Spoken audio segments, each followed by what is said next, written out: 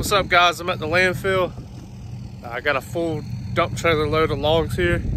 Super heavy and my battery's dead on my trailer. Just uh, been getting super busy.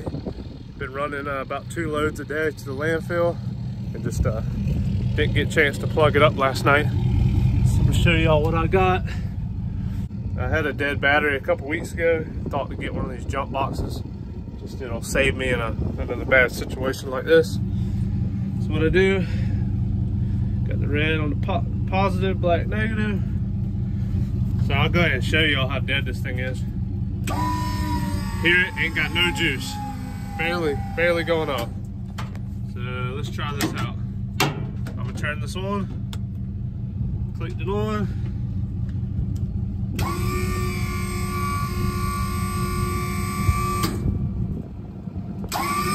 Much better.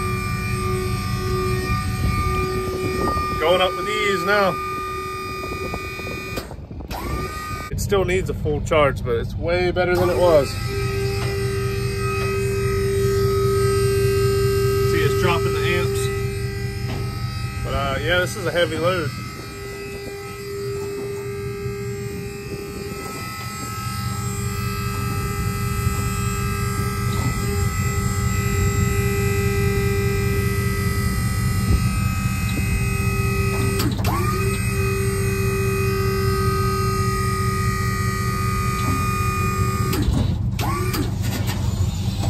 It goes.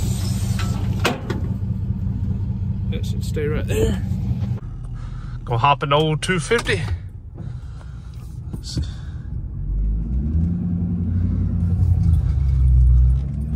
Dump it right on out.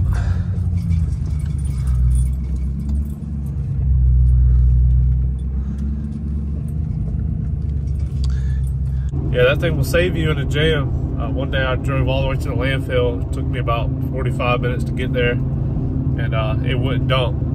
So I was like, yep, got to get a jump box.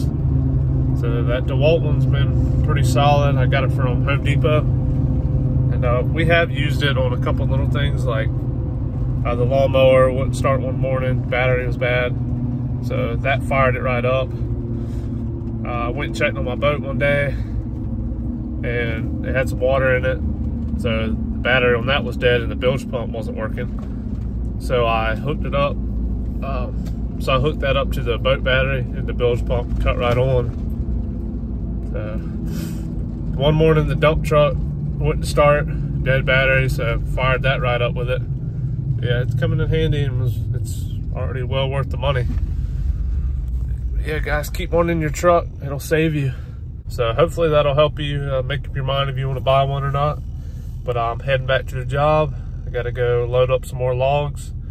And the landfill is probably going to be closed by the time I get done with that. So probably have to dump on my property. Yeah, guys, thanks for watching. I'll see y'all in the next one.